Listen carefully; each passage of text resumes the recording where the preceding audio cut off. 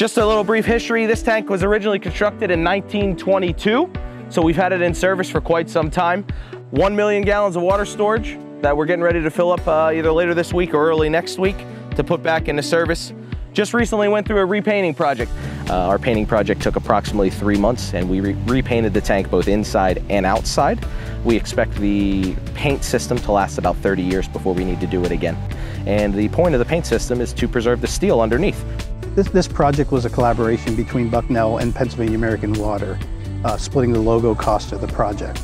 This tower uh, presence needed a refresh, and with it being such a large visible structure on campus, it was a welcome update. So between our tour when we had folks inside and when we put the tank in service, we wash it down, we disinfect it, we button it up, and then we fill it up with water. And then for our regulating agency, DEP, Department of Environmental Protection, we have to get bacteria and volatile organic carbon samples, VOC samples. When those samples come back acceptable, we're able to put the tank back in service and provide water to the customers nearby. So a million gallons is about two and a half Olympic-sized swimming pools, believe it or not. Uh, I always joke with my friends, I, I try to put it in beer perspective, that's about 16 million pints of beer. This is important for us for fire protection, for main breaks, for everyday use. And having water storage tanks like this, we want to keep them in tip-top shape. So every drop of water you consume tastes the same every time.